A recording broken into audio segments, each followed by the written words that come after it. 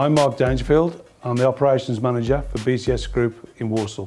I've been with the business 21 years and I first started my role in the plant yard as a general operative. Whilst I've been at BCS, I've been given the opportunity to progress within the business uh, and I've done that straight from the, the role of general hand through to team leader, supervisor, works manager. I've been involved with transportation, procurement, uh, right up to the role now, my current position of uh, operations manager. I've had the opportunity to train.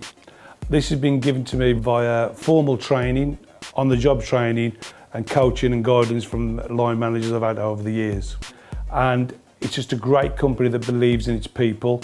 So if you have got a, um, a particular skill in an area, whether that be people management, whether that's with good working with your hands or you're very methodical in your approaches, that will usually be identified and we have a great PDR process that identifies any training needs that could be agreed with your managers or your line managers.